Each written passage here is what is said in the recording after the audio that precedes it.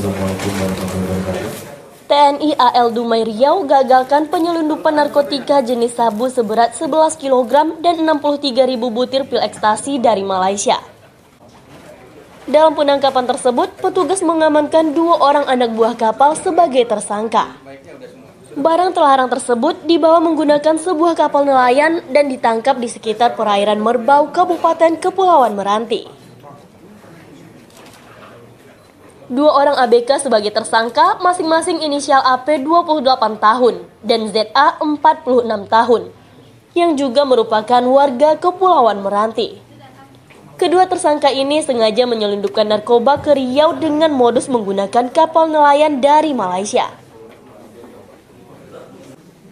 Panglima Komando Armada Barat, Pangko Armabar Laksamana Muda TNI Muhammad Ali mengatakan Penangkapan ini berawal dari kecurigaan petugas terhadap sebuah kapal nelayan yang tetap berlayar meski kondisi cuaca dalam keadaan buruk. Dari kecurigaan inilah petugas langsung mencegat dan menggeledah isi kapal dan ternyata ditemukan tiga karung narkoba yang disimpan dalam lambung kapal.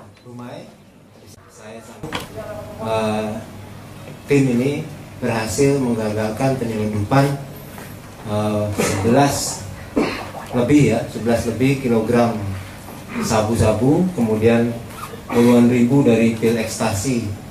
Pil ekstasi ini buatan Cina. Ini semua adalah berkat kerjasama yang baik antar aparat penegak hukum aparat keamanan dan aparat lain yang berada di kota Dumai. Dan ini menunjukkan sinergitas yang baik yang dilakukan oleh uh, Lana Dumai dan berarti sekali yang 26 kali siapa? Udah, udah selesai kita interogasinya.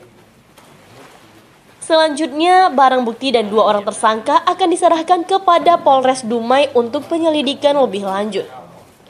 Dari Dumai Riau, Ahmad Dison melaporkan.